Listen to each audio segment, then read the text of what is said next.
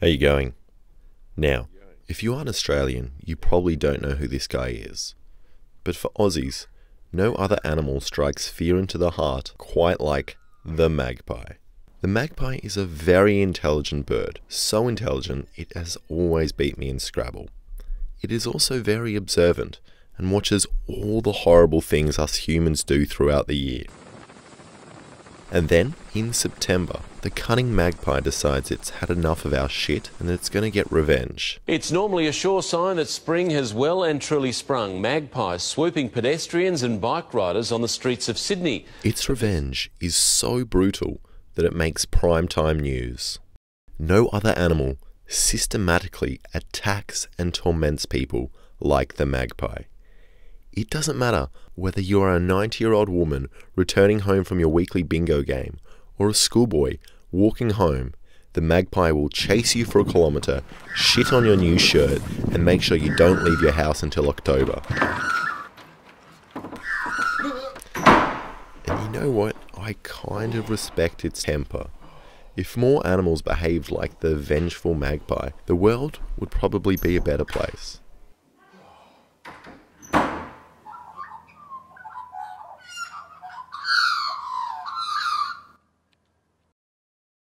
To my surprise, a month before September, I noticed that we had a friendly gang of magpies hanging around in our yard, and I conceived a wild idea. If I could befriend the magpies before they turn their backs on me, or even train them, then I could avoid a month of fear and embarrassment, and I might be able to harness their infamy. If everyone fears the magpie, and I control the magpies, then everyone would fear me. Now, I don't really have the greatest plan, but I reckon that if I seduce the magpie with a wide range of bread and I ring this bell every time it eats, I can get it to associate this annoying noise with myself, food, and happiness.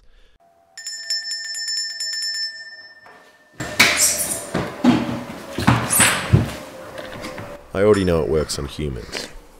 At first, it was tough.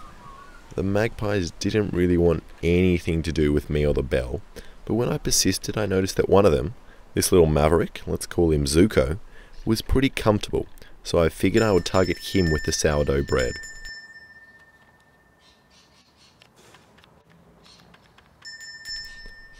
At first, Zuko was really scared of me and the bell, and really didn't want to get in reach of me.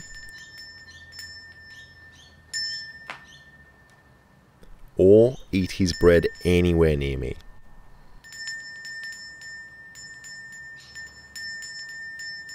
But after trying a couple of times, he was more comfortable and started to trust me a bit more. Every morning, he would just be chilling out, waiting outside the door for his feed.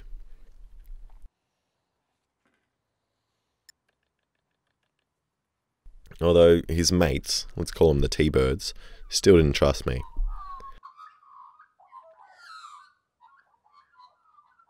I really wish I could speak bird, although he is probably telling me to stop fucking ringing this bell. Eventually, Zuko started hanging around a lot more. And one of his mates started to trust me as well.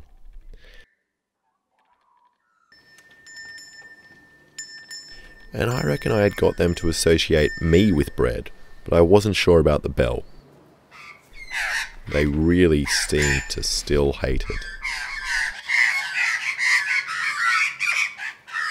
Wait, guys, chill out. I'll give you all bread, okay? I felt a bit bad about creating a bit of conflict in the group, and then I remembered that birds. Word must have spread around that some idiot was giving out free bread, and some other boys decided to crash the party. I have no idea why the magpies just run away from the smaller lorikeets.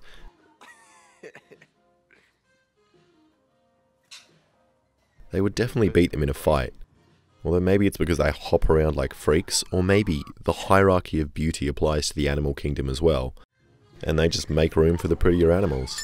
Regardless, they all seem to hate the bell. Eventually, I had every bird in the neighbourhood hanging around in my yard, chilling around for a free feed. And the lorikeets were still the top dogs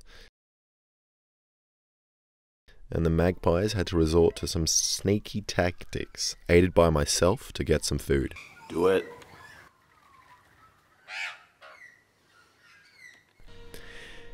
And even though I had enough bread for all the birds, an all out gang war broke out, with my love and bread at the centre.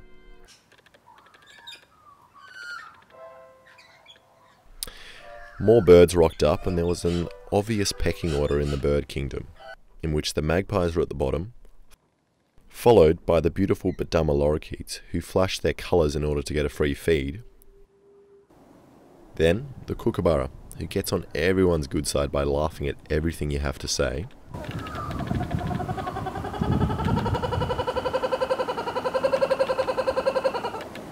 Mate, what are you laughing about? And finally, the giant fucking king of the birds, the crested cockatoo.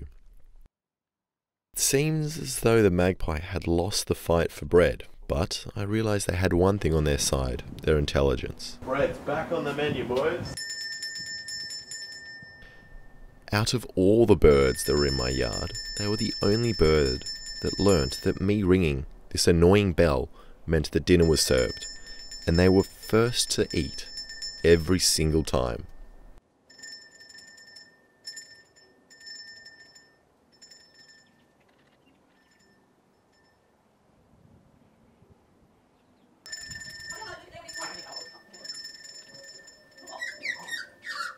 And you know, I never managed to train them to attack people or to ride them like a scene from Lord of the Rings. But I did learn a couple of things. Firstly, you really don't need a vacuum cleaner when you have a magpie around. Uh, dude, uh, I know, like, you're cool and all, but I, I really don't think you should be in my house. You, although you are eating scraps on the floor, actually, this is a great idea. And the reason they swoop everybody is because you give all your fucking bread to the prettier birds. You know, I kept my magpies nice and full, happy with that? and they didn't swoop me once in the month of September. If you liked that video, subscribe and share it around. You know, you finally have an excuse to ring up that auntie you haven't spoken to in three years. You can say like, uh, "Hey, there's there's this guy who made a video on the internet with um, birds." And, you know, you two will be best friends again.